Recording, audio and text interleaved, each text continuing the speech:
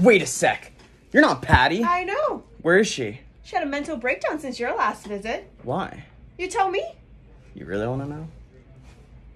I got with her and her daughter. What? I know. I know. So I have to ask. Hmm.